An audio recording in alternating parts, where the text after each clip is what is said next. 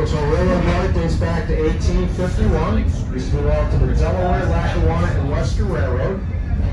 This railroad ran between Hoboken, New Jersey, just outside New York City, through the Poconos and west to the Great Lakes to Buffalo.